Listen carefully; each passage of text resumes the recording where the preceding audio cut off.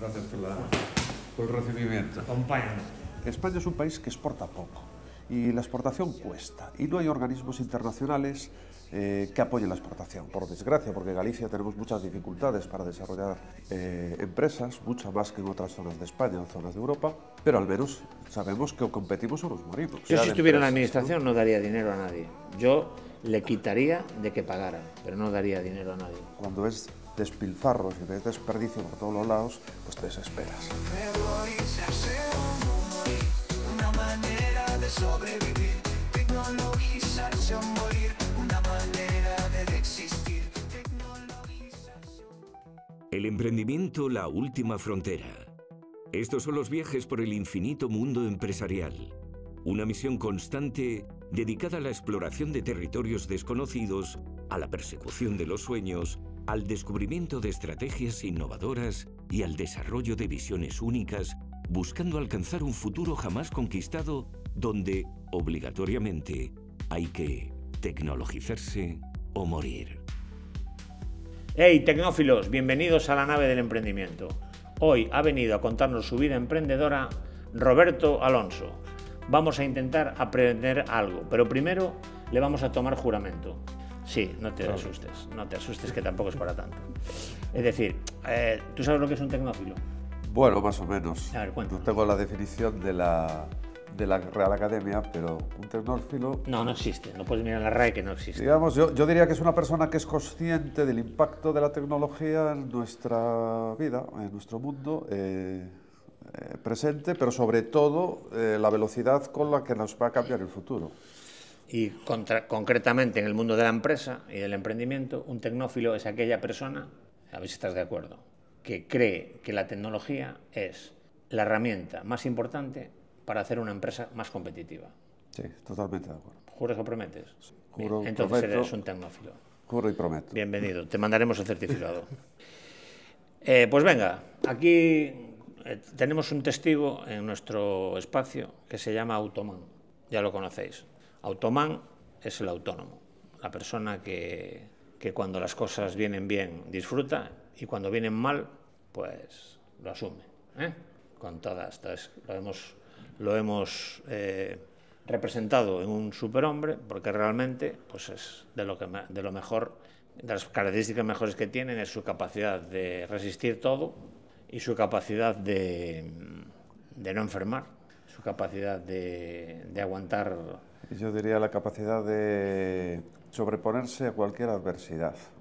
Correcto. Además, eh, en el ámbito hay, hay dos tipos de autónomos. Hay el autónomo, que ya de por sí es un personaje sufrido, pero hay una especie nueva que se llama interim manager, que ese es el sufridor Dios. número uno del mundo mundial, porque en la definición de la palabreja pues está el trabajar por misiones con objetivos determinados por un plazo de, de tiempo concreto y es súper estresante. Además, es algo que estoy contrastando con todos mis colegas que nos dedicamos más o menos a lo mismo y el periodo de entrada en una empresa hasta que coges esa, esa cultura básica de dónde está la máquina de café, a qué hora se entra, a qué hora se sale, qué, eh, cómo funcionan los círculos de comunicación y tal, pues, pues es muy estresante, sí.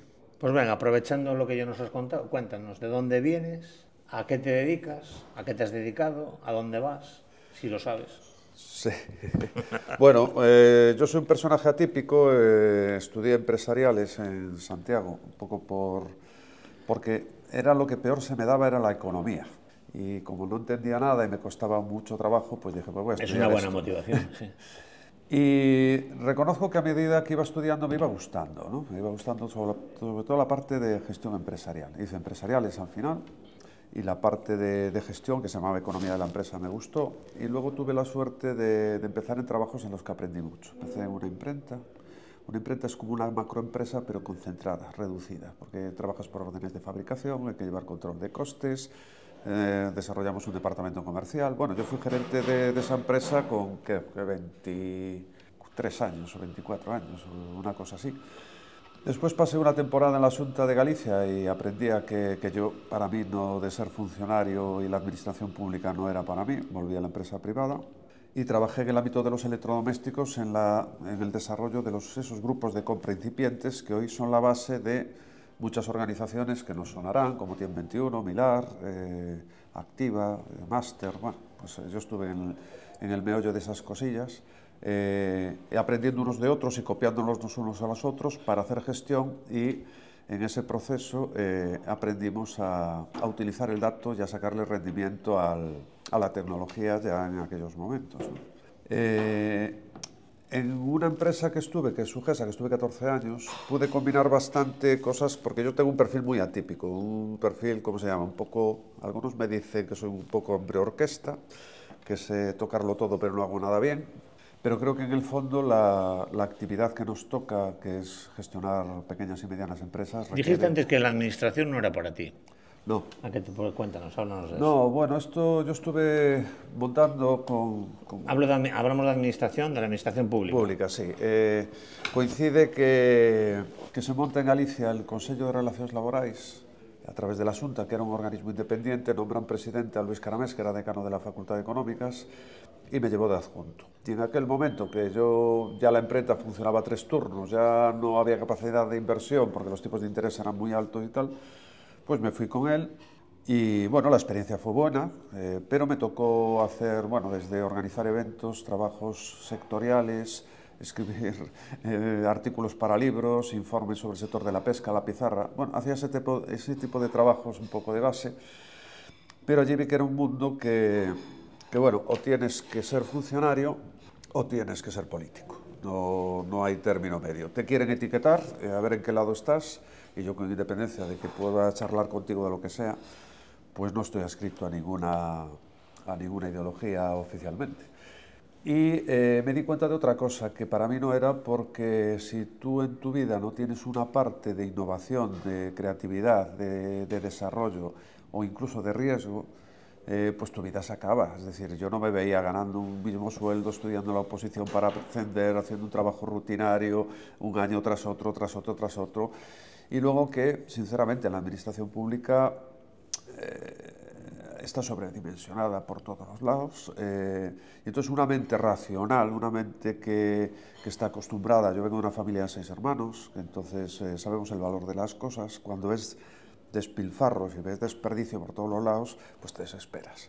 Y luego la autojustificación, ¿no? Es que yo soy muy importante, pues yo hago esto y hago lo otro. Bueno, señor, yo soy consciente de que estoy trabajando muchas menos horas que en la privada, tengo un salario fijo, asegurado, que eso está muy bien, pero, pero para mí no, no Porque solo no atenta, sirve... atenta contra tus Sí, incluso hoy- anhelos, tus hoy- esperanzas sí. o tus... Y hoy por mi trabajo tengo que lidiar muchas veces con temas de subvenciones, temas de burocracia, de administración que me desespera. O sea, que, que, que hoy por hoy pues tengas que hacer una gestión con la administración, que no la puedas hacer online fácilmente, es desesperante, es cabreante. Es, es- no es tu opinión solo. Es decir, en general todos sufrimos, más que sufrimos la administración, más que nos ayude, ¿no? Sí, la administración. Bueno, a ver, eh, hay, hay- no podemos generalizar. De, de hecho, hay, hay funcionarios que son maravillosos. No, no, pero yo no estoy, yo no estoy son hablando... superprofesionales. No hablo de los funcionarios, hablo de la Y a administración. lo mejor hay sectores como sanidad o educación donde Sí, yo creo que, que podemos hacer un balance diferente, pero digamos la administración pura y dura, que, que crea leyes, que crea normas, que crea reglamentos, que crea interpretaciones, que, que luego a lo mejor no ponen los medios suficientes para que, para que las cosas se resuelvan en los tiempos determinados, que, que siguen funcionando un esquema presupuestario que está súper anticuado y que no es eficiente. Sí, sí, sí. O sea, eh, eh, la privada, vamos, con, con suerte o con, o con error o como por desgracia, porque en Galicia tenemos muchas dificultades para desarrollar eh, empresas, muchas más que en otras zonas de España o zonas de Europa, pero al menos sabemos que competimos o nos morimos. ¿Y qué opinas de las subvenciones? Es decir, Bueno, las subvenciones en general, quitando pocas excepciones, en general son una trampa. Son una trampa porque por una pequeña ayuda tú tienes que hacer un proyecto condicionado a las eh, características o a, o a los requisitos de esa subvención y te quita flexibilidad. Yo, por ejemplo, proyectos de digitalización... eh, El kit digital. bueno, el digital ya es un desastre. El kit digital sirve para que... el kit digital para es de- un desastre. eh, ha la cámara. servido, ha servido para que muchas empresas que no tenían una página web o no tenían un mínimo desarrollo, pues lo puedan hacer, ¿vale? Pero estamos hablando de microautónomos o empresas que ya debían de haberlas tenido hecho. Una página web que vale 2.000, 3.000 euros para empezar. Bueno, eso ya si como si tú no lo puedes financiar en tu negocio, es que no tienes un negocio, tienes otra cosa, ¿no? Claro. Y lo que han hecho las empresas es, eh, bueno, hacer packs, eh, bueno, que no son unas páginas muy desarrolladas a la medida de cada cliente, Ah, es un WordPress. Sí. Y luego eh, las empresas digitalizadoras han tardado muchísimo, están tardando muchísimo en cobrar la ayuda, con lo cual han dejado de hacerlo. eh, pero el mercado deja de encargar páginas web de verdad o proyectos de digitalización de verdad porque creen que eso tiene que estar pagado por la administración, eh, por una subvención. Entonces, yo creo que en mi caso particular ha sido muy perjudicial. Yo creo que es una trampa de arena, cualquier subvención, no el Key Digital en general. la- las subvenciones son una trampa de arena. Pero te hago una pregunta yo a ti, que tú estás en el ámbito tecnológico. ¿Tú cuánto considerarías por término medio que se amortiza una inversión, una inversión bien hecha en, en una, proceso de digitalización? Sea en el ámbito del A transporte... ver, ¿me hablas del, de- del tiempo tasado por Hacienda? No. ¿O de del, tiempo de retorno de la inversión. el ROI de, un- de una inversión, pero que en una web? No, en una web no, en un proceso tecnológico, por Ah, ejemplo, si de, es un de- proceso complejo, depende, es un proceso de producción. eh, pues igual tú dices, estoy fabricando eh, lápices y de repente te- me compro una máquina nueva, controlada por microprocesador, controlada por un software potente, que además lo he tenido que hacer ad hoc y tal y cual, y eso me va a permitir, pues eso lo sabes antes, pasar de fabricar 5.000 lapiceros por hora a fabricar 250.000, como ya lo ves. Y además con menos costes, porque en las economías de escala en la industria funcionan. Yo el proceso de, el proceso de digitalización que hicimos en distribución, de poner al cliente una página web para que haga los pedidos, que entre directamente en el almacén, que eso vaya directamente al transporte y que se entregue directamente, invertimos mucho porque de aquellas eh, no estaban tan asequibles, el- los desarrollos eran todos a medida, no había packs prehechos, ¿no? Eh, la amortización era en dos años máximo. Y todos los proyectos que hemos eh, visto el año pasado vosotros digitales de digitalización industrial en dos años máximo. Y en marketing digital, eh, páginas de e-commerce, en dos años máximo. Salvo que no funcione. Claro, si tú tienes un modelo de negocio malo, Sí, da sí, igual sí. Que, que lo lleves a todo el mundo, que tengas pero un- bueno, lo que tú dices, por ejemplo, retirar que, que la, la persona meta las menos manos posibles en un proceso productivo, la eliminación del papel y tal, debería ser una armonización muy rápida. Muy rápida, muy rápida. Sí que hay algunas ayudas que son interesantes, algunas en particular del IGAPE, hay un Exporta Digital, una subvención para el comercio, que sí, hay, hay alguna que, que sí, que puede ser una palanca para mejorar la competitividad. Yo si estuviera en la empresas, ¿no? administración no daría dinero a nadie. Yo le quitaría de que pagara, pero no daría dinero a nadie. Le quitaría, eh, decir, pues menos impuestos, menos IRPF, menos eh, impuestos de sociedades, menos tal. Pero no, no haría esa trampa de arena de si me presentan los papeles de esta y de esta manera, porque al final tienes, yo recuerdo hace años en una, en una empresa tecnológica que se llamaba SatData, hace muchos años, cuando pedíamos una subvención, Teníamos, había subvenciones para digitalización y tal, perdíamos, tenía que tener a dos personas solamente para documentar la- la subvención. Y eso no es rentable. Y luego problemas, y luego venga, y luego una inspección, y luego tal. Oiga, ¿usted quiere que me dedique a un sector estratégico y quiere que haga las cosas bien? Bien, pues entonces deme, deme eh, bonifíqueme la seguridad social, bonifíqueme el impuesto de sociedades, eh, eh, métame menos, menos costes directos e indirectos. Pero no me, no me des dinero, porque luego viene el problema, que hay gente que viene a trincar. En mi opinión, la administración pública eh, tiene que gestionarse como una empresa país. Es decir, eh, el bienestar de los ciudadanos está hoy en gran medida condicionado por la economía. Para financiar servicios sociales o servicios públicos, tú tienes que conseguir tener ingresos. Claro. ¿De dónde vienen los ingresos? Los ingresos vienen de la contribución de IRPF de trabajadores o de las contribuciones de las empresas. Es decir, cuando más empresa hay, cuando más empresa productiva, más empleo se genera y más recauda el Estado. Esto es una regla muy simplona, pero es que es, es así. Cuando una empresa, cuando un país tiene una economía competitiva, eh, el país tiene más recursos para invertir también en servicios desde sociales, en carreteras y demás. Pero no están enfocando así las administraciones. O sea, nosotros estamos con, un- con una dualidad tremenda, que por un lado, nuestra, empresas como Google o Facebook o, eh, controlan nuestra, nuestros datos y pueden saber más de nuestros gustos y de nuestras aficiones, casi de nosotros mismos. Más que Hacienda, ¿no? Pueden saberlo. Otra cosa es que esos datos se utilicen o no, pero los datos los tienen ahí para saberlo. Y por otro lado, pues para, bueno, pues para hacer cualquier trámite con la administración pública, pues, o, o- o bueno, ya no hablemos del sistema judicial. El sistema judicial eh, tienes un proceso, eh, papeleo, de años, eh, o sea, eh, hay procesos que pueden tardar cinco o seis años en tener una sentencia sobre temas mercantiles. Eso Sí. hace que, que el sistema no funcione. ¿no? Entonces, estamos con una dualidad, por un lado, de, de lo antiguo y de la tradición, y de la Semana Santa que viene ahora y de las tradiciones, frente a una revolución tecnológica y están conviviendo estos dos ámbitos en el mismo plano y este es el en donde nos estamos metidos ahora. ¿no? Yo, por un lado, estoy haciendo digitalización empresarial, pero por otro lado, tengo que convencer a un empresario que no tiene mentalización eh, eh, empresaria- eh, digital. Sabe que hay que hacerlo, pero cuando les pones todo lo que hay que cambiar en la cultura, porque la digitalización exige también un cambio de mentalidad en, la- en las empresas. Claro. Es, es funcionar de otra manera, es abrirse otros mercados, es, es, es teletrabajar, o sea, eh, el, el paradigma cambia. No hay una mentalidad de cambio suficiente en muchos, eh, lo que nosotros llamamos los patriarcas, que son esos grandes empresarios que tienen mucho mérito, fundadores de un negocio, pero cuando llega el momento del relevo, del cambio, de la adaptación a los nuevos tiempos, pues hay que hacer un cambio de esquemas y no siempre es fácil en personas de una determinada edad o de una determinada generación. ¿no? Esto, esto Tienes es- mucha experiencia, ¿no? En, en empresas. Bueno, el otro día escuché un término que no le gusta ahora que le llamen empresas familiares, sino familias de empresarios.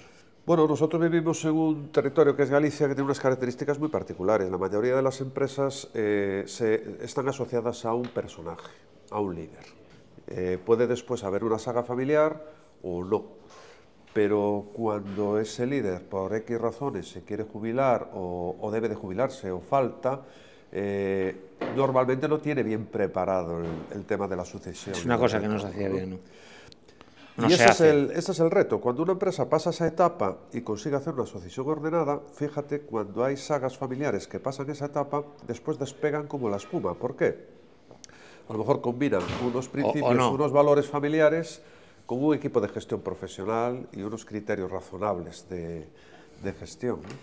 Eh, esto hace, hace, hace grande una frase de un amigo mío que era, era de una saga de, de- de armadores que me dice, mira, José, yo hice a mi padre millonario. Y digo, ¿qué dices? Sí, porque antes era multimillonario. Muy bueno, muy bueno. ¿Entiendes? La cuestión es que las siguientes generaciones pueden venir a ayudar, pueden venir a mejorar. Aquí ha pasado con muchas empresas.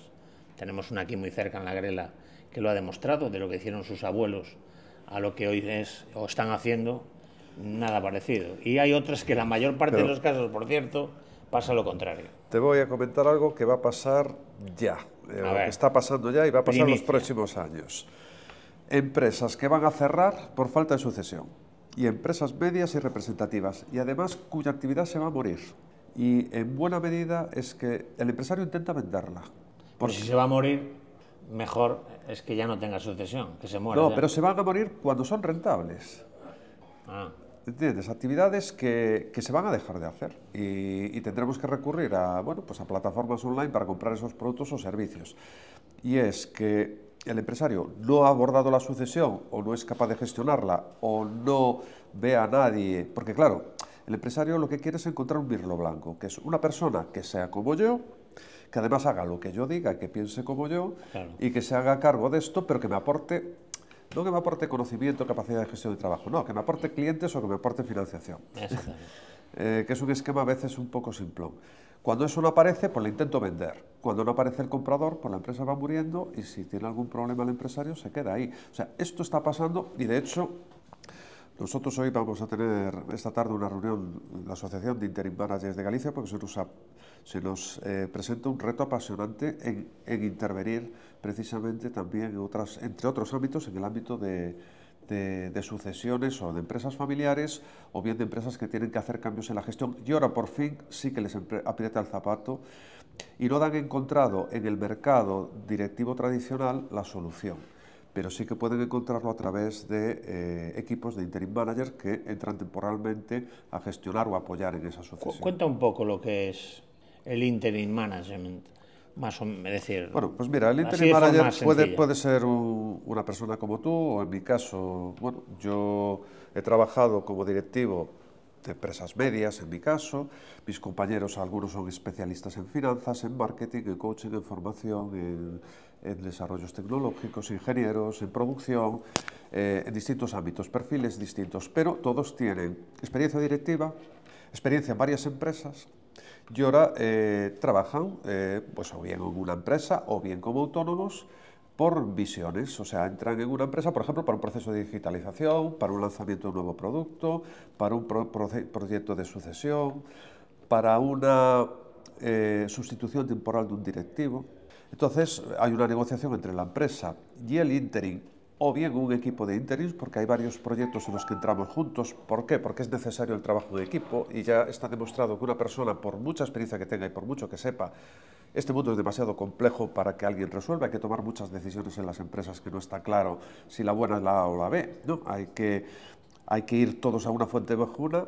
Entonces, a veces entramos varios eh, colaborando en un mismo proyecto.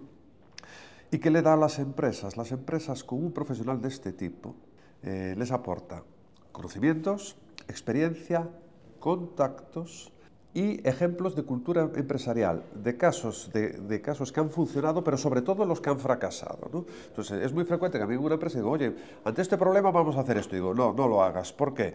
Porque la empresa, que no te voy a contar cuál, se hizo así y falló por esto, por esto y por esto. Y dice, ostra, pues no lo había pensado. Es decir, eh, a veces decisiones que en el despacho parecen obvias, en la práctica no funcionan. Y un empresario que pueda recurrir temporalmente a un interín eh, es fantástico porque aporta muchísimo valor y después puede buscar a otro. Sinceramente es así de cruel, eh, pero es a lo que vamos. O sea, el, empleo tal como estaba concebido se acaba. Las empresas no están dispuestas a, no, no pueden asumir eh, sueldos eh, de altos directivos, salvo que generes mucho valor en cada momento. Y eso no es fácil. Eh, un directivo aporta valor eh, durante un tiempo determinado y después necesita reciclarse o necesita cambiar de, sector. También una persona que sea creativa y que tenga imaginación, encasillado más de 10 años en un mismo puesto, eh, uf, se, le, se, le, va agotando la capacidad de, de, aportar valor, innovación, etc. Entonces yo creo que es una fórmula que, bueno, en España está muy poco desarrollada, pero vamos, muy por debajo de, de, todos los países, por supuesto, anglosajones, pero es que en otros países latinos, como por ejemplo en Francia, se está desarrollando a toda velocidad. Y aquí tarda, tarda más en llegar, pero está, está empezando a llegar y llegará. Y es una oportunidad muy buena para las empresas y para profesionales también, porque hay un problema de contratación para mayores de, de 50 y pico años. Las empresas no están contratando. Hasta que tú, que ya lo hemos hablado más veces, eh, ¿no crees que a, a, ese trabajo de interim management le hace muchísimo daño los fantasmas? Sí. La gente que viene, que dice que sabe, sí. que viene a servirse, sí. que es lícito venir a hacer tu trabajo, pero no hay, no hay un poco de, de, de globo de globo terráqueo, de, de, de, de, espacio, es decir, de gente que viene con, con voracidad a hacerse cargo de cosas que no controla o que dice que sabe. Pasó, yo creo que pasó con, primero con los de marketing, después pasó con los coaches. Sí. Y ahora wow. pasa con los interim managers. Son profesiones que no están reguladas, eh, pero bueno, eh, vamos a ver, en el mundo del derecho hay abogados buenos y abogados malos. Bueno, precisamente de... has tocado un tema, el mundo del derecho, con todos los respetos a los letrados y a los abogados, eh, vaya por Dios, también claro. es un... Es un, Entonces, bueno, un espectáculo. Vamos. Nosotros no podemos controlar que alguien se ponga de, de, apellido o en la denominación o su tarjeta de visita interim manager. No lo podemos controlar. Sí. Pero sí que estamos tratando con las asociaciones de generar digamos, un, un, sistema de conocimiento. De hecho, nuestra asociación no está abierta a todo el mundo. Sí que está abierta como invitados a que tú pueda, cualquiera pueda participar, ver, oír y tal, pero luego la entrada, la regulación y luego el sistema de recomendaciones interno funciona de otra manera, porque un profesional no puede recomendar a alguien que no conozca bien. O sea, esto de, no, vamos a organizar una, una, asociación y por el hecho de pagar una cuota y tal, me vas a recomendar, me vas a ayudar. El problema no, de, no. Tu, de tu trabajo como interim es, es ese precisamente. Es decir, ¿quién viene aquí a darme consejos que para él no tiene? El otro, lo repetí el otro día en un podcast también con otra persona. Decía mi amigo Javier que él, él conocía peluqueros que habían fracasado en su peluquería y que ahora andan por ahí dándole clases a los demás. ¿Sobre qué? Si tú no has, nunca has triunfado. Puedes dar clases si tú has triunfado algún día y luego te has caído, ¿no? Pues mira, te voy a poner el ejemplo de la peluquería, pues es un sector que he conocido. eh, y es muy curioso porque debe de haber 3.000, 4.000 peluquerías en, en Galicia y cuentas con el dedo de la mano las que puedes considerar bien gestionadas como empresa. ¿Por qué?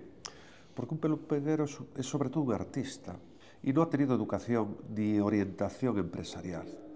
Eh, entonces, No, pero eso ninguno, ¿eh? Porque bueno, eh, pero eh, muy yo nací del mundo tecnológico y de empresas a día lo que... Pero muy frecuente en nuestro trabajo es encontrarte un empresario, una empresa que, que tiene una capacidad apabullante de generar valor.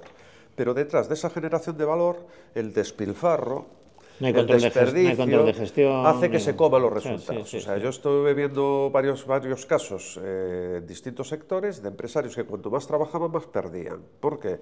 Porque no habían hecho un análisis de costes más o menos razonable, porque no saben, eh, eh, no hacen un control de gestión razonable, en fin. Eh, entonces, yo creo que hay dos figuras en una empresa. Bueno, más bien hay, varias. Una es el director general y siempre hay tres funciones que deberían de estar separadas y desarrolladas, aunque coordinadas, que es la función administrativo-financiera, la función de producción y operaciones y la función comercial. ¿no? ¿Qué ocurre? Que nosotros detrás de un empresario emprendedor, y yo no me engaño, yo no me considero, yo soy un emprendedor, evidentemente soy un autónomo, soy un Superman. Un automan, pero, automan. pero yo no tengo esa capacidad de asumir riesgos e inversión que tiene un empresario de verdad, lo reconozco. Yo los he visto. Yo tengo a un amigo que es un empresario que las ve al vuelo. Está, está analizando aquella esquina y dice, por ahí pasan tantas personas de tanto poder adquisitivo, de tal, tal, tal, tal. Es decir, te está haciendo un análisis de mercado con su intuición y luego dice, tiene esa parte de, capacidad de asumir riesgo y de salvar los problemas que se le puedan eh, presentar, que es alucinante. Pero esas personas que son un poco arriesgadas de más, que son eh, empresarios de verdad, necesitan al lado a alguien que le ponga eh, freno. ¿no? Decir, la potencia sin control no sirve de nada, pues, pues, pues un poco de control. Luego, si coges a alguien que haya tenido también su propia experiencia empresarial, yo he participado en la creación de empresas, me he estrellado, me ha salido mal, me ha salido bien, me ha pasado de todo, eh, pues también es interesante porque, como le digo yo a alguna empresa, dice, joder, ¿tú por qué me estás diciendo eso? Que eso a ti no te interesa como profesional que me ayude. Digo, mira, yo me he jugado el dinero también en proyectos empresariales y esto es muy serio. Es decir, no es lo Y has mismo- ganado, has perdido, He perdido, pero nada he ganado, eh, o eh, sobre todo lo que me alegro es de haber controlado el riesgo para que cuando empecé a perder cortara tiempo para que eso no fuera una ruina. O sea, Bueno, y España, así hablando del país, y también Galicia, ¿tú crees que es un país de emprendimiento, un país tecnologizado? Las dos preguntas juntas. Bueno, por un lado, eh, país de emprendimiento sí lo es, pero no lo ponen tremendamente difícil. No es un país idóneo para emprender. Eh, bueno, tenés- bueno, ya sabes que para crear una empresa hay un montón de trabas administrativas, pero eso no es lo peor. Es que tú has creado una empresa y antes de que ingreses un euro ya tienes un montón de responsabilidades, un montón de legislación que, que cumplir y entonces eso te frena para atrás. Segundo, eh, vivimos en una tremenda incertidumbre, que vale, hay una, una incertidumbre que es natural, sabemos que, que el mundo de la incertidumbre ha venido para quedarse, pero es que la sociedad misma y, el, y la administración, y no me estoy refiriendo al partido que está en el poder en este momento, sino en general, Que también. no ven, eh, no apoyan al empresario. Es decir, España es un país que exporta poco y la exportación cuesta y no hay organismos internacionales eh, que apoyen la exportación. A ver, te voy a poner un ejemplo en sentido contrario. Yo trabajé mucho en el sector de electrodomésticos y he conocido empresas, por ejemplo, la Siemens, muchísimo, también Favor, pero las empresas coreanas, un Samsung, un LG. Samsung y LG forman eh, el gobierno coreano eh, está ahí apoyando y su eh, estrategia es casi militar. Es decir, es obligatorio estar eh, penetrando en determinados países en un periodo de tiempo determinado. Y el que viene de director general o de presidente de Samsung o de LG o de, me imagino, de otras empresas de automóviles a España, o triunfa o triunfa. No, puede permitirse el lujo del fracaso. Una empresa italiana, por ejemplo, del norte, que se constituye, normalmente ya se constituye para vender solo un 10 o un 15% del mercado italiano. Ya se constituye para que el 80 o el 85% de sus ventas sean en el mercado europeo o internacional. Esa mentalidad aquí no existe. Entonces, eh, por un lado hay apoyo. Socialmente al empresario no está del todo bien visto y luego que no es el país idóneo para obtener rentabilidad a la inversión. Y luego, si vamos a Galicia con este problemísima grave que tenemos de comunicaciones, que estamos súper perjudicados, tenemos la autovía medio cortada. Estamos a 600 kilómetros del eje comercial más cercano. Tenemos líneas de avión que se nos han quitado y algunos son ultra caras. Tenemos un tren AVE que es el más caro de España. Tú puedes ir de, de Madrid a Barcelona por 20 euros. Aquí 120, 130 euros Sí, es lo sí, que sí, cuesta no. el tren. Es decir, El eje atlántico... eh, no solo estamos eh, lejos, es que nos quieren alejar, nos Las quieren esquinar. La autopista cara. Y, y no hay un movimiento social racional para eh, ir poniendo esto encima de la, de la mesa y que esto sea eh, un lugar atractivo para, para invertir. Ahora, carácter emprendedor, lo hay. Capacidad de aprendizaje, lo hay. Capacidad de trabajo, lo hay. Y de hecho tenemos 80.000 ejemplos de empresas grandes, pequeñas y medianas en Galicia que están destacando en su ámbito a pesar de todo, de tener un montón de, de, de entorno en contra. ¿no? Pues a, a los gallegos, a los gallegos nos intentan alejar más cada día con este tipo de cuestiones y tal, y, y no hacemos nada. ¿Tú por qué crees? ¿Por qué la gente no se cabrea? Yo recuerdo cuando nos echaron, cuando no nos tenían en cuenta en el eje atlántico, en el eje ferroviario, para las mercancías, que venía por Gijón y bajaba directamente a Portugal, joder, unos cuantos montamos en cólera. Es decir, el eje atlántico y los únicos puertos del Atlántico están en Galicia y ninguno de ellos es un puerto interesante para tal, estando aquí empresas importantes. Mira, eh, para mí, eh, Galicia, a ver, sabes que tenemos muy poca población, muy envejecida y además súper Bueno, poca población, somos 2.800.000. 2.800.000, sí. Sí, no Pero estamos poca, muy hay, hay dispersos. regiones más pequeñas. Y luego, dentro de esa dispersión, tenemos eh, más o menos tres ciudades donde no hay una gran actividad empresarial. Eh, o sea, de las ciudades más importantes, pues un Lugo, Orense o Santiago, su, su eje de vida no es la actividad Sí, sí. empresarial. la actividad Coruña y Vigo es lo que hay. Y dentro de Coruña y Vigo son dos ciudades que, que las comunicaciones internas son caras, costosas y latosas, porque el coste de la autopista es una burrada, el tiempo que se tarda en tren eh, es bastante. Yo tengo que estar esta tarde en Vigo. No, Y- el tren, y luego- el tren mejoró, ¿eh? Y luego ha habido un El cierto tren- localismo histórico que no, no ha ayudado no a ayuda, Galicia. ¿no? ¿no? Sí, sí. Ese localismo que, bueno, poco a poco se va difuminando. Pero tampoco se ha hecho nada para cambiar eso. ¿eh? Yo creo Sí. que eh, todos quieren tener su aeropuerto, quieren tener su puerto, su puerto exterior, su puerto no sé qué. Aquí hay verdaderas atrocidades que nadie ha puesto freno. Pero es que la gente, será porque la gente no quiere. Bueno, eh, también yo veo que hay Los mucha- gallegos no quieren. mucho empresario que se debe a la administración pública porque, porque su, un porcentaje alto de su facturación o de sus ingresos proviene de Ya, clientes pero es que la administración pública no, es, no es la industria de un país. De hecho, es un coste. En una cuenta de resultados Esta es la mentalidad. empresarial del país, los, la parte administrativa es un coste. Y, y- y no tenemos que estar al servicio de la administración. La administración está para eh, cubrir servicios comunes que necesitamos todos. Es decir, aquí, pregúntale- aquí parece que la regla de juego es al revés. Aquí tenemos una multinacional importante, como tú sabes. Pregúntale cuánto comercializa con la administración. ¿Qué le importa a la administración? Si ni siquiera su core está en España, es un país más. Vende muchísimo, el 80% de sus ventas, seguramente o más, son fuera de España. eso- Entonces, eso- cuando adquieres ese, ese nivel, ¿qué le importa a la administración? Pues yo creo que teníamos que gener- generar. Aparte de más- pagar impuestos, claro. más conciencia en Galicia de defensa de, de lo nuestro, pe- pero hablo de una defensa también cultural, pero defensa en lo económico. Lo que necesitamos es, es garantizar que sea un sitio donde la gente no tenga que emigrar para ganarse la vida. Tenemos muy buenos profesionales, que los salarios sean pues, eh, conforme a la media europea eh, y que las industrias sean competitivas, que podemos serlo, lo estamos demostrando. Hay un montón de empresas en Vigo que están haciendo piezas para Airbus, tecnológicamente estamos muy desarrollados, hay empresas muy tecnologizadas, o sea, tenemos ejemplos de todo, de lo malo y de lo bueno, pero hay mucho bueno. Y están saliendo unas generaciones de, de ingenieros muy preparados, de gente que está muy preparada, que muchos ya me dicen, mira, yo me voy fuera porque voy a ganar más sueldo, tengo más posibilidades de desarrollo profesional, Y eh, bueno, a ver, un Barcelona o un Valencia, eh, la conexión con mercados internacionales es mucho más fluida. Ya no te digo eh, Berlín o no te digo París o no te digo Londres. Yo creo que ya todos conocemos a, a gente de nuestras familias o chavales que ya están viviendo en estas ciudades porque, porque encuentran más, más calidad Entonces, de ¿qué vida, más Hay que, perspectivas hay que morir al gancho. ¿Eh? Hay que morir al gancho aquí. Hay que tener conciencia de que tenemos que luchar por lo nuestro. Yo, desde mi Ya, perspectiva, de una manera sana, de una manera Roberto, tú constructiva. sabes que eso es muy difícil, es decir, conciencia, conciencia, conciencia. Aquí hay algo que no, que no somos capaces de, de poner en, de- en solfa y decir cuáles son los... Lo primero que hace falta para que un país progrese es un acto de contrición y decir, un país me refiero en este caso más a Galicia, eh, que se puede aplicar también al resto de España, porque en España también hay sitios como Cataluña o Valencia o el País Vasco que han estado siempre protegidos y se han llevado las industrias por allí, y eso, ¿por qué no se las han traído por aquí, por ejemplo?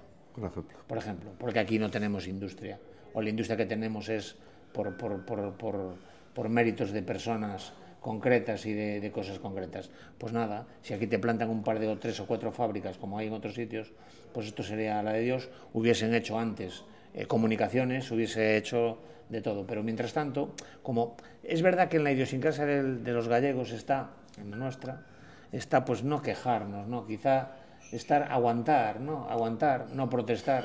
Con esto que está pasando aquí, que no tenemos comunicaciones, que no tal, que pasan de nosotros, que si el corredor atlántico, que si tal, pues nada, yo no veo a nadie protestar excesivamente. No. Sin embargo, en otros sitios montan un pollo Sí. de la leche por cosas mucho más, si- siendo sitios privilegiados. y no me estoy refiriendo a ningún sitio en concreto, pero ya sabemos de qué estamos hablando. Entonces, ¿por qué aquí no? ¿Por qué aquí no hacemos? ¿Por qué aquí no sale la gente con, con, con, con, como hizo Rambo, que se ató el pelo y dijo, vamos a luchar? Pues Aquí mira, que- estás tocando un tema. Yo, yo he participado eh, mucho en movimientos asociativos, ¿no? tanto de profesionales como de aquí no empresarios.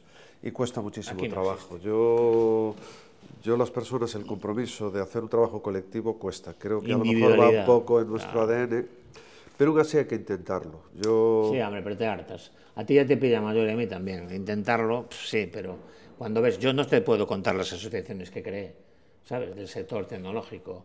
Eh, ahora me vienen cinco o seis, incluida una de aquí de este barrio, donde está enclavado Nordés. La gente se la suda. Es decir, a la gente, la gente va a lo fácil, que otro se encargue, sí, a lo mejor en principio empiezan a participar, pero luego tal, y luego no hacen nada. En general, la gente no tiene ganas, es individualista. En Galicia, por ejemplo, yo admiro mucho a los catalanes, admiro a los vascos y a los, a los valencianos. ¿Por qué? Porque sí hay un movimiento asociativo potente. En Madrid, por supuesto que también. Pero Madrid es la amalgama de toda España. Pero zonas donde son mucho más reivindicativos, más, oye, vamos a por lo nuestro. Y siempre están que, que hay de lo mío. Y aquí hay un pasotismo, hay Pero, una serie de conformismo. Pues es lo que nos pasa, el individualismo hace que tengamos que esforzarnos muchísimo más para conseguir menos que eh, juntos podríamos conseguir de una manera más fácil. Bueno, aún así hay algún... Bueno, yo estoy, ya sabes, en la Asociación de Interim Manager de Galicia, Valorea, he fundado alguna organización de networking como Red Activa, también he participado en la, fundación de la Asociación de Distribuidores de Electrodomésticos, ADEN, que hace un papel muy significativo, no revolucionario, pero muy importante en la gestión de los residuos. Cuando tú cambias una lavadora, la lavadora vieja acaba en un centro de reciclaje. Pues esa gestión se gestiona a través de ADEN, de una asociación de distribuidores. Eh, bueno, se pueden hacer pequeñas cosas y a lo mejor es lo que bueno, tenemos que centrarnos Sí, en mira, un hacer- ejemplo. dar pequeños pasos para avanzar en Un una ejemplo, dirección. Nordés, al que tú perteneces. Nordés es un club que hemos fundado unos cuantos locos hace unos años. Eh, hace dos, dos años y pico lleva abierto esto. Va a hacer tres años en octubre, es decir, que lleva dos años y poco. Tú sabes, es decir, es verdad que hubo gente que desde el primer día, ¿dónde tengo que estar? Vale.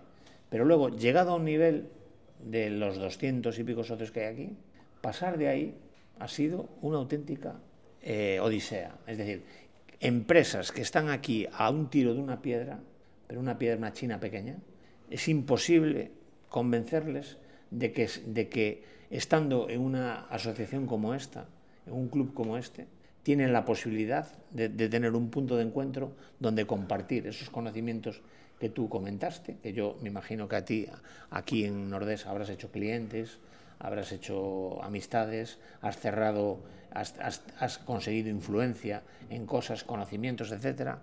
Es muy difícil captar. eh, mira que en La Coruña no hay empresas, ¿eh?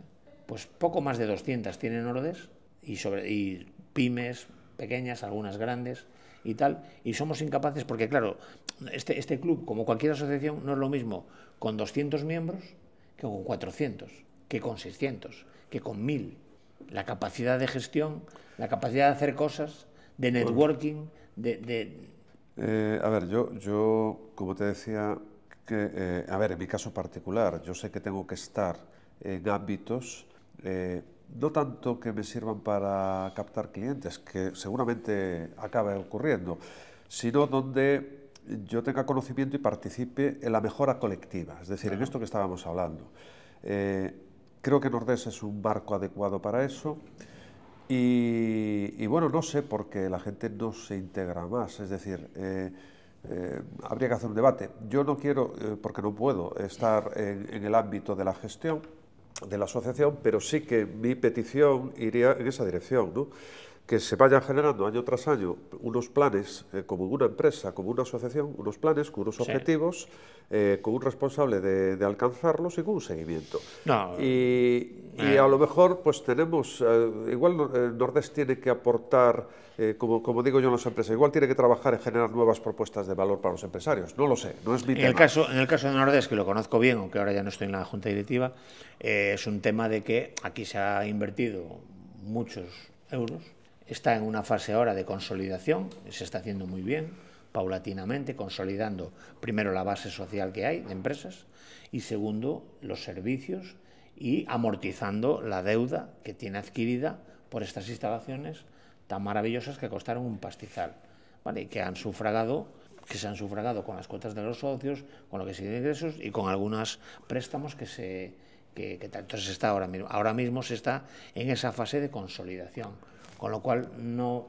tampoco le vas a pedir que cuando un proyecto está en, época de consolidación, grandes crecimientos. Una vez que esté, que yo creo que ocurrirá el año que viene, que ya está la deuda amortizada, entonces es el momento de encender la espoleta y empezar a darle, que ya, le está- ya se le está dando, pero a darle fuerte, a, a buscar otros, otras metas. Mira, una, una de las experiencias pasmosas de, de lo que yo he hecho en la vida, de lo poco que he hecho, han sido dos. Una, eh, yo me encontré una vez una empresa con, bueno, con quiebra, o sea, según el balance y tal, estaba totalmente quebrada, con una deuda brutal. Llevaba un año sin actividad, más o menos, eh, sin, ap- aparentemente sin clientes. Los proveedores no querían vender y estaba sin plantilla. Pasaron 10 años. 10 años era la número uno en su sector. La número uno. Y fue gracias a, eh, a una acción colectiva de personas unidas con el mismo interés común. Y era una parte pequeña, era la parte material, o sea, tenían un interés eh, materialista en la recuperación, pero sobre todo fue un compromiso emocional, un compromiso ideológico. Esto lo tenemos que sacar porque lo tenemos que sacar porque lo tenemos que sacar. Y lo he visto varias veces, pero yo he trabajado en empresas en crisis y es pasmoso y es lo, lo bonito de la empresa, que cuando las personas se unen y realmente apuestan por sacar algo adelante, son capaces. Sí, claro. Entonces, ¿qué ocurre? Que bueno, eh, lo hemos hablado antes, individualismo, cada, empresa, cada empresario va a lo suyo, eh, no queremos perder tiempo en cosas que nos dice alguien, el gestor de turno al interín, oye, ¿cuánto tiempo pasas en Nordés y qué, qué llevas a cambio? Yo no puedo medirlo así, es decir, yo, Que no yo, mide estoy aquí, estoy en otra asociación en Que no se Vigo, mide así. y posiblemente entre en alguna más. ¿Por qué? Porque en la esencia de mi trabajo, de lo que yo intento hacer, que es conocer el tejido empresarial gallego y ofrecerle soluciones a través mía o a través de mis compañeros de, de Valorea o de, o de socios digitales en el ámbito de la digitalización, pues me tienen que conocer y yo tengo que conocer el tejido empresarial. Y cuanto más conozco, más aprendo. Y no dejamos de aprender. Claro. Y luego tratar de ver de qué manera podemos ir uni- uniendo voluntades para dar un escalón más para defender los intereses que nos atañen a todos. Esto que estamos hablando, comunicaciones, eh, burocracias, apoyo a la administración pública, exportación e internacionalización de empresas. A ver, muchas empresas pymes son internacionalizables, pero el coste de un- una buena consultoría, de una buena consultoría, no de una consultoría de chichinabo que te haga un informe, pa, pa, pa, una buena que te acompañe, que te lleve al paisaje, que te dé los interlocutores, que sepa las ferias a las que ir, cómo hay que ir, que toque Ya, esos eso, resortes. eso es una carta a los Reyes Magos. ¿eh? Una consultoría que te dé eso, Bueno, que se acerque Hay, hay, hay más cosas, allá. mira, hay, hay aquí, yo he conocido, por ejemplo, una, a una persona que ha estado en la exportación de cooperativas de, del vino de, de Albariño, que ahora está trabajando en La Rioja, porque aquí no encuentra. Ya, ya, sí, sí, sí, claro que hay, pero, pero el problema es que vuelvo, vuelvo, otra vez atrás. Es decir, ¿cuánta gente hay en el sector, eh, en tu sector, como en otros, el del coaching? Yo es que, que eh, yo cuando me puse en las tarjetas, cuando, cuando monté Ferrer a Pie, consultoría tecnológica, la palabra consultoría me daba un poco como ébola. ¿Sabes por qué? Consultoría Porque es otra palabra. Consultoría, coaching. Es decir, ¿cuántos vende, vendedores de crecepelo hay de coaches por ahí? ¿Cuántos? ¿Cuántos consultores? Pero los hay muy buenos también. ¿eh? Correcto, Los es verdad, es verdad. Eso pasa en todos los sectores, pero no hay, no hay un rigor y eso hace mucho daño al sector. Hace mucho daño. En el, mo- en el sector tecnológico también existen vendedores de crecepelo. ¿Vale? Gente que dice que va a arreglar un tema con un sistema tal, luego no funciona. Eso nos, eso nos hace daño a todos. Entonces, yo creo, no sé, es que no sé lo que hay que, no sé lo que hay que hacer. Yo sí sé que un punto de encuentro como este sí que permite que cuando estás en un, cuando estás en un ecosistema es más difícil que nadie defraude a nadie. ¿Vale? Vamos a decirlo eh, así políticamente, que nadie defraude a Vale. nadie. ¿Por qué? Porque somos una red, que nos conocemos, Para- que tenemos Para mí, hay, la esencia de la colaboración está en la confianza. Y la confianza se consigue con la convivencia. Lo ideal es que para que podamos colaborar empresarialmente es que trabajemos juntos Claro. y convivamos juntos. Y Es decir, conozcamos. si ahora vamos a hacer un proyecto, yo, yo he conocido a compañeros que, oye, nos ha tocado eh, un trabajo en Sevilla, que tenemos que estar un mes allí montando algo o desmontando algo, o en Madrid. Y resulta que trabajamos juntos todo el día, nos tenemos que acoplar. Resulta que compartimos hotel, compartimos cena. Cuando volvemos en el viaje de vuelta, Sí. sabemos, como digo yo, los defectos de cada uno. digo, cuando tú conoces mis defectos, es que también conoces mis virtudes, tú puedes hacer tu balanza. Sí, sí. Y puede decir, oye, pues yo con esta persona puedo ir hasta tal sitio, lo puedo recomendar o no lo puedo recomendar. Y esto, este ámbito, ayuda. Ayuda mucho. Ayuda. No es la panacea. Y luego el poder, el poder de la prescripción. Mira, yo ayer te voy a contar un detalle que es aplicable al mundo empresarial. Yo voy en moto habitualmente, eh, aparqué la moto en un sitio empresarial de aquí y ya salió un, tío que es un gerente de una empresa de, de seguros y me dijo, me vio la moto y tal, como yo equipa, y me dice, oye, te voy a hacer una recomendación y me lo vas a agradecer. Y me habló de un dispositivo, un CarPlay para la moto, eh, estanco y tal, pero para moto y tal, que ya, ya me está diciendo que es un equipo, que él ya lo tiene, que otra gente que conoce ya lo tiene, que lo ha probado, que tiene una relación calidad-precio fenomenal y que le voy a dar las gracias por hacer. Lo primero que tiene que tener la persona que me está recomendando es autoritas. Es decir, que yo considere que es un tío que se viste por los pies, que es una persona que tiene criterio. Automáticamente, eh, ¿sabes lo que hizo al llegar a casa? Entrar en la página web, le apuntó una tarjeta, entrar en la página web y comprarlo. Eso es prescripción. Entonces, si tú eres capaz de que tus clientes te prescriban, la prescripción lo es todo. Yo a los comerciales siempre le digo, cuando vais a ver un cliente, por favor, habla con él, empatiza con él, siéntate con él y que te cuente quiénes son, quién es su entorno y, y consigue que te prescriba. ¿Vale? Consigue que te prescriba. Es una fase muy grande. Bueno, ahora vamos a, a- Te voy a hacer un tercer grado, ¿vale? Es la parte ya final de, de esto y luego dices lo que tú quieras. Al final nos cuenta, nos haces tú el, el cierre, ¿no? Son preguntas eh, fáciles, por supuesto para ti, cuando eres un profesional. Y, y la primera es, ¿tú qué opinas de la suerte? ¿Cuánto crees que el éxito depende de la suerte? Eh, a ver, la suerte existe, pero evidentemente la suerte sin trabajo y sin constancia y sin preparación y sin experiencia no sirve de nada. Pero, Porcentaje. ah, y el porcentaje puede ser un 50%. Sí, ¿Tú fías el 50% del éxito empresarial a, la- a la suerte? Sí. Joder, macho, eso es, un, eso es un titular. Señores, jueguen a la lotería. Yo, vamos, Sí, vamos a yo ver. creo que es un, yo creo que no llega ni al 10%. Sí, eh, yo sé de algunos casos de empresas No, exitosas. no, hablo- no, no me hables de claro, empresas exitosas. Yo conozco aquí unos empresarios que han dicho, yo jamás pensé que iba a tener una empresa como esta tan grande y tal. Eso me parece bien. Pero te, te digo yo que si tú conoces a esas personas, son unos Hombre, tíos con igual un estoy talento. exagerando con el 50, pero... Sí, yo creo que te has pasado. Eh, Pero no pasa nada, porque aquí cada uno se puede pasar a lo que quiera. Pero podríamos, 50% podríamos ir casos, casos, casos, si te cuento casos. Ya, pero, Eh, pero me vas a contar casos de éxito. Pero cuéntame los fracasos. Vale. Cuéntamelo. ¿Cuántas empresas triunfan y Mira, cuántas fracasan? se dice que- Porcentaje, dímelo. Mira, se dice que un empresario para que tenga éxito tiene que tener al menos dos, tres fracasos previos. Bueno, eso es una... Yo, eh, evidentemente, a base de leches aprendes. Pero hay quien no puede, quien no aguanta el primer fracaso ya lo hunde y ya no puede ser, ya no puede ir a por segundo. Son la mayoría, No. Roberto, son la mayoría. Pero bueno, la a suerte mí, existe. Yo, yo te hago la pregunta a ti y tú me la puedes hacer a mí. Yo, vamos a ver, la suerte no es un factor determinante para nada. Hay gente que nace, como en los dibujos animados, que le va la nube siempre lloviendo encima, ¿sabes? Esos son los dibujos de, de nuestra época. Y luego hay gente que tiene suerte. Pero la suerte no es de... Yo hablo de determinación. Si tú, ¿qué decía Picasso? Que la suerte, que, digo, que la inspiración me pille currando. Que la inspiración me pille con el pincel en la mano. Sí, de Porque acuerdo. si estoy durmiendo, De acuerdo. aunque tenga inspiración, pues serán etéreas y estarán muy bien en el mundo de los sueños, pero no materializo nada. ¿no? Pero tú ponme un caso de tres personas que hayan tenido más o menos el mismo desarrollo eh, educativo, profesional, experiencia y demás. Y de repente cada uno de ellos opta por un proyecto empresarial distinto, en distintos sectores. Uno, otro aquí y otro aquí. Y podemos anticipar el futuro hasta cierta medida. Mira, hay muchos negocios que mueren por ser eh, anticiparse al tiempo, que lo ven venir, no sé, por ejemplo los videoclubs. Los primeros eh, anticipan, pero después vienen las grandes empresas y se los comen.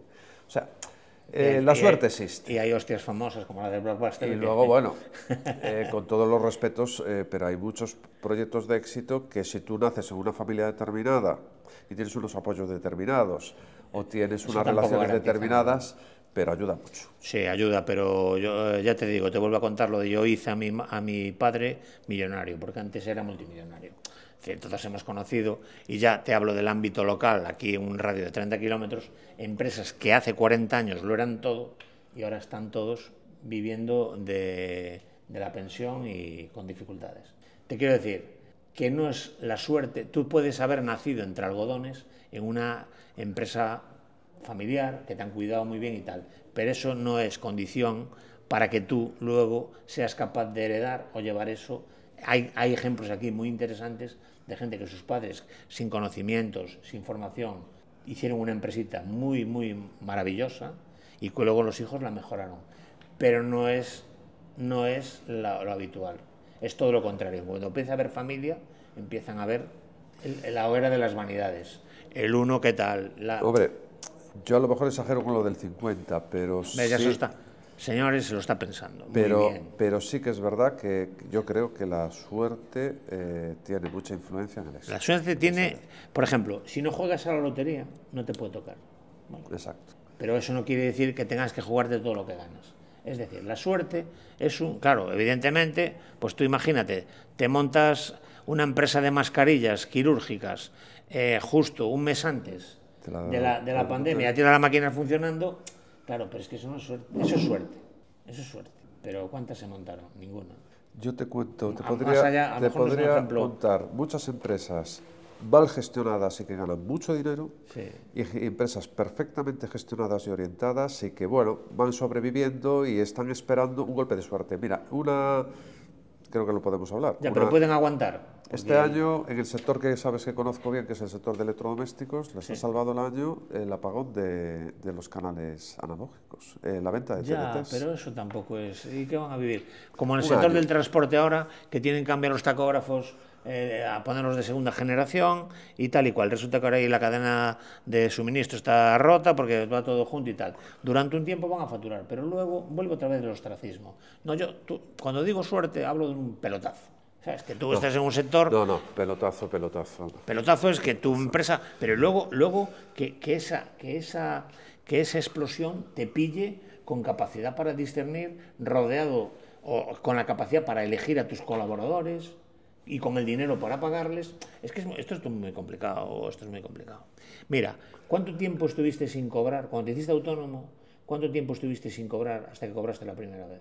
¿O ya cobraste el primer mes? Eh, sí, ya cobré el primer mes, pero sí que he tenido meses de, de no cobrar o de eh, impagos. Eso es una cosa muy curiosa. Bueno, ya, ya, eso ya- Algo pasmoso.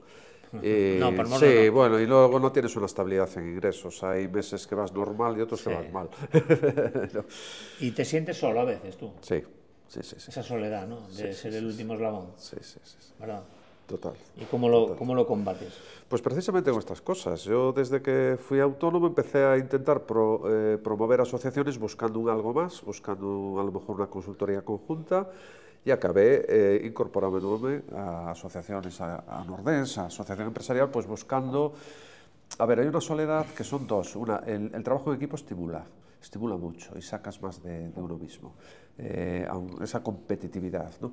Y luego la toma de decisiones. eh, la toma Sí, de decisiones. tuya, claro. Y cuando más estudio y más aprendo y más empresas veo, pues más solo me siento y hay muchas decisiones, incluso para mí mismo, que parecen obvias, que me gustaría contrastarlas con alguien para decir, oye, pf, tengo esto. Pero alguien que pueda entender Tiene que todo ser el un marco. amigo, un y un compañero, amigo y un empresario también, porque, o, o un gestor empresarial. No, no, vale, no vale cualquiera que no viva en este Al final mundo los empresarios tienen todos los mismos problemas, ¿no? Tenemos. Mira, ¿y, y las vacaciones qué tal? ¿Todos los años vacaciones y tal? Mira, he estado 12 años sin vacaciones, 12 años, pero llevo dos años cogiéndome eh, una semana. una semana, ¿eh? Qué con mi familia, pero bueno, la aprovechamos muy bien. Muy bien, claro. claro, muy bien, te digo. ¿Y, y un empresario de referencia para ti, con nombre y apellidos? Que te haya... Has dicho, joder, este tío admirable, me ha, me ha motivado, me ha... Aunque no lo conozcas, ¿eh? Es decir, alguien que crees que su trayectoria sea digna de mención. Bueno, eh, a ver, todas las personas tenemos, eh, no sé si leíste Los Borgia. Los Borgia es un libro... Los Borgia eran o- los, sí, los los, del Eh, Vaticano. O El ¿no? Padrino, ¿no? El Padrino. El Padrino, sí. El Padrino, este, este escritor, ¿cómo se llamaba? Mario Puzo, Mario sí. tiene la gran habilidad de convertir a un personaje que en algunas cosas es deleznable en algo que por otro lado es admirable. Que vayas por es él, decir, esa, esa- o bueno, personajes de Juego de Tronos, también me aparece Sí, esa dicotomía, ¿no? Eh, entonces, claro, tú dices el empresario perfecto, el empresario perfecto igual no es empresario, por- o perfecto no hay nadie, pero bueno, sí que yo te voy a hablar de una persona que, que fue mi jefe, que se llamaba Ignacio de Diego Cocho, eh, fundador de Idea Hogar Electrodomésticos en Valladolid, y que era un visionario, visionario dentro de un orden, no era tal, pero era una persona que combinaba una buena formación, porque era ingeniero, una buena visión de los negocios, pero sobre todo era eh, su capacidad de negociación y su capacidad de generar equipo. O sea, eso me gustaba muchísimo. Tenía una capacidad de negociación impresionante. Cogía a alguien por banda y decía, tú vas a trabajar conmigo, y esa persona acababa trabajando con él. No le quedaba otra.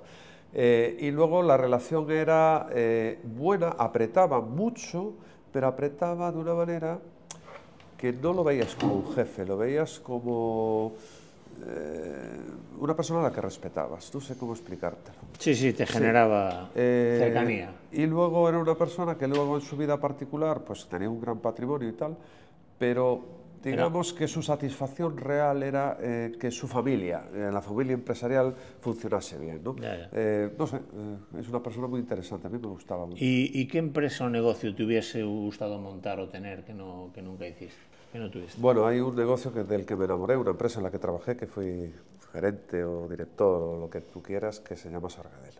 Sargadelos es de esas propias po- pocas empresas que combina eh, alma, tiene mucha alma, tiene Sí.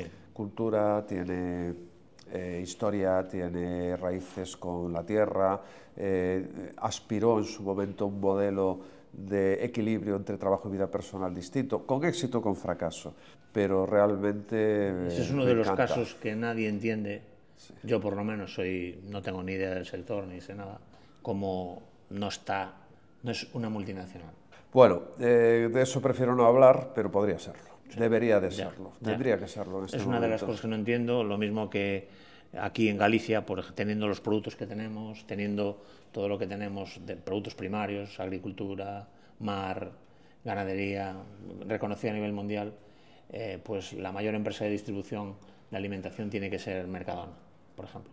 Porque en Galicia no hay un Mercadona, ¿sabes? Que factura 35.000 millones de euros y ganó 1.000 millones el año pasado. ¿Por qué no existe esa empresa? No lo entiendo. Yo también tengo que confesar que el mundo, del mundo de la alimentación no sé absolutamente nada, ni nada Bueno, pero, nada. pero mira, te voy a, te- en su momento yo hice un análisis de, muy por encima eh, del sector alimentario. Hoy ya ha cambiado, eh, te hablo de a lo mejor, ponle hace 10 años. Y yo como trabajé en el, en el retail, me gusta mucho ver los puntos de venta. Y estaba analizando los lineales de determinadas cadenas de supermercados, la política de marcas, y me di cuenta que no había una estrategia clara. O sea, yo me encontraba, de las- sí, me encontraba en una cadena X, eh, en un sitio este producto estaba en, en un sitio preferente, que es a la altura de los ojos y que puedas llegar con la mano, sí, sí, en un pasillo de los, de los principales, y en otro estaba escondido abajo. Y digo, entonces aquí no hay una política de compras. Si no hay una política de compras, hay una política de gestión de obsoletos. Mercadona ha desarrollado sus marcas propias, tiene los lineales pre- pre- totalmente preestablecidos. El sitio que va a ocupar cada producto está predeterminado y eso se negocia con cada proveedor. Yo, a mi pequeña escala en electrodomésticos, yo negociaba el lugar de los lineales de tiendas, claro. que no eran nuestras, era- que, eran, venta. que eran una especie de franquicias, que después tenía que convencer a la tienda. Y simplemente acelerando o pisando cara a nuestros clientes determinados resortes de marcas conseguíamos subir participación o bajar participación y eso al fabricante le interesa muchísimo porque al fabricante le interesa saber la participación, su cuota de mercado, no solo la cifra de ventas, sino cómo va en relación al mercado. Y luego otra cosa que descubrimos es que eh, al fabricante le interesa que tú le anticipes los pedidos. Por eso la tecnología está ayudando muchísimo a muchos negocios. Tú puedes hacer modelos predictivos Entonces, hoy con mucha falta- facilidad. Aquí no ha habido una cadena de esas, de- tanto en ese aspecto como con ese sector como en otros, porque no han aplicado tecnología, porque el empresario, digamos que es menos ambicioso. Hombre, yo te voy más lejos. ¿Por qué Decathlon es francés, los hipermercados son franceses? ¿Por qué no, no tenemos una Sí, gran pero eso es de ropa tipo? deportiva, pero siendo los centollos de aquí, las nécoras, los percebes, el mejillón más importante o mejor calidad del mundo, las mejores patatas que puede comer cualquiera, lo reconoce todo el mundo, la mejor ternera, la mejor tal. Si teniendo esos productos aquí, tú fíjate lo que hubiese supuesto que en Galicia hubiera o hubiese un Pues mira, un sistema de distribución como el que en otras En- como en existe. mi opinión- para el producto gallego me refiero. quitando, quitando los, los hipermercados, que tienen su modelo de negocio. Ah, pero eso ya son En supermercados tú tienes dos opciones. Una se llama Mercadona y otra es la más próxima a tu casa. sí. No hay un valor diferencial claro, claro, claro. Empieza a verlo, pero no claro, claro para que diga, yo me voy en vez de al supermercado este de la esquina, al de más allá, porque tengo esta ventaja o en precio, o en surtido, o en servicio. De hecho, muchos todavía eh, Sí. no cumplen los deberes a la hora de las entregas a domicilio. O sea, cosas que tienen que avanzar rápidamente. Yo creo que en alimentación, supongo que les dan los números, dan buenos resultados. La pandemia les ha favorecido mucho, pero sí que creo que pueden de- ir más allá. El modelo eh, de negocio de Mercadona y la estrategia Es brutal, espectacular. es brutal. Luego, hablas con, yo conozco a dos personas de mi entorno que trabajan en Mercadona y no tienen más que palabras de admiración y de por este señor y por y por la- el tal. Son los que mejor cobran, los que más cobran, perdón, los que mejor concilian. No, traba- no abren los domingos nunca ni abren los festivos. Es decir, y eso y con todo eso son capaces de, de ser la empresa ma- mayor de España en número de trabajadores. Es que has abierto una espita que es el problema laboral hoy que tienen las empresas para las contrataciones, que no paran de quejarse, Sí, claro. y el problema que tienen los trabajadores para encontrar un proyecto profesional estable en una empresa. Claro, claro. Hay, hay un doble problema ahí, que todos se quejan A de B y B de A y A de B y B de A, pero un- una empresa que sepa anticiparse y generar planes de carrera para sus trabajadores, Sí, igual está eh, es- es adelantándose y consiguiendo un valor que no tiene a lo mejor un gran coste económico, pero puede tener una gran ventaja competitiva. No lo sé. Venga, dime una película evocadora para ti del, del emprendimiento, del, de la realización personal, una película que te venga a la cabeza. Hombre, no me acuerdo del título, pero hay una que, que me hace mucha gracia, que es cuando una chica joven que tiene un- una empresa jo- joven, eh, una empresa nueva, contrata al jubilado para que le ayude. ¿No os acordáis del título de esa película?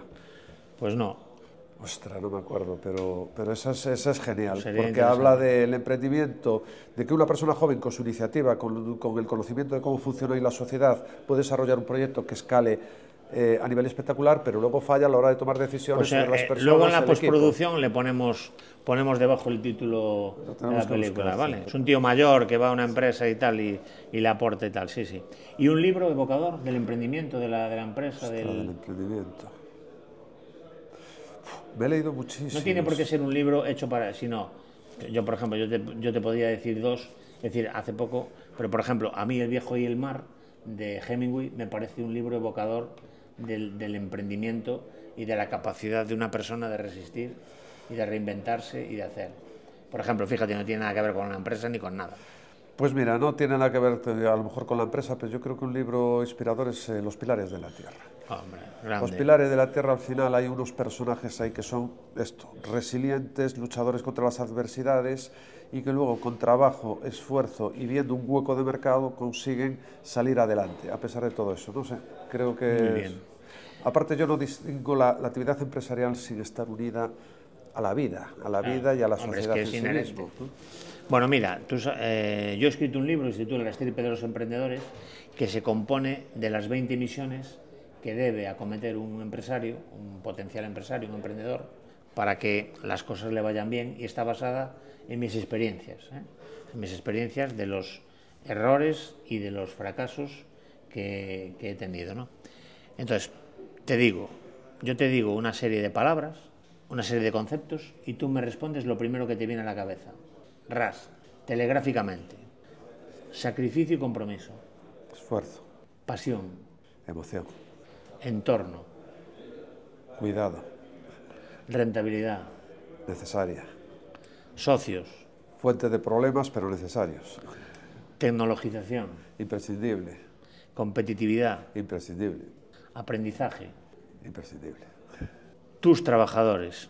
Eh, tiene que ser una extensión de mí mismo. Fracaso y recuperación. Eh, es, es, necesario caerse para aprender a levantarse. Celebrar éxitos. Yo no soy muy partidario. Escuchar a tus clientes. Imprescindible también. y Los clientes son los que, los que deciden si un, si un negocio va a ser rentable o no. Bienestar físico y mental. Eh, también creo que es muy necesario equilibrarse. Ética. También. Eh, nos falta hoy muchísimo, tenemos un problema ético, pero sin relaciones de confianza ni tienes pareja, ni tienes buenos amigos, ni puedes hacer socios, ni puedes hacer clientes, ni puedes tener trabajadores fiables. Eh, tenemos que recuperar valores éticos como sea. Inclusividad. Bueno, esto estamos avanzando mucho, pero una persona, todos tenemos alguna discapacidad y todos tenemos muchas capacidades.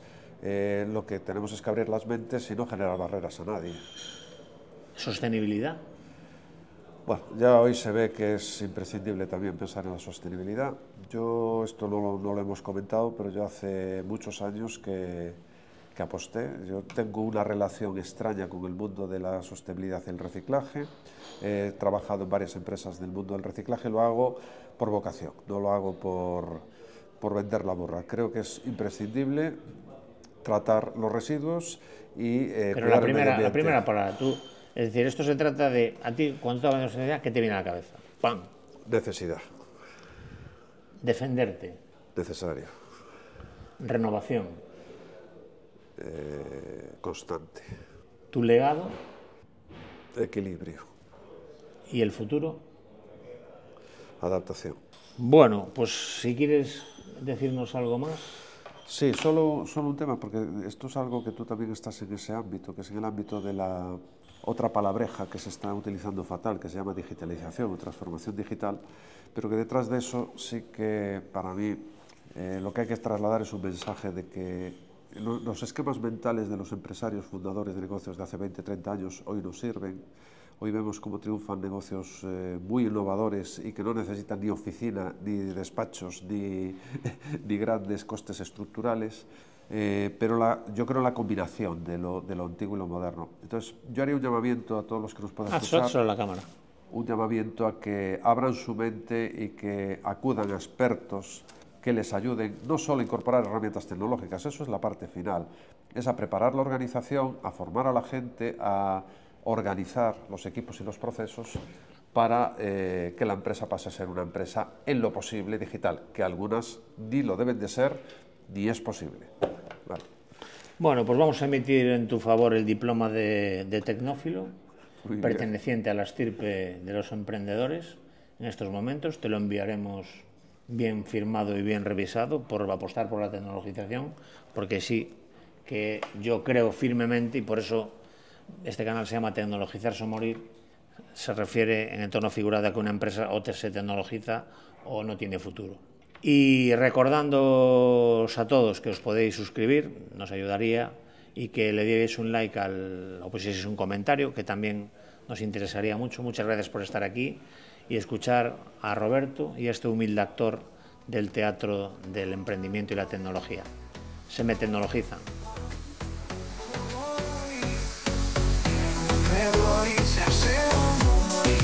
una manera de sobrevivir, tecnologizarse o morir, una manera de existir.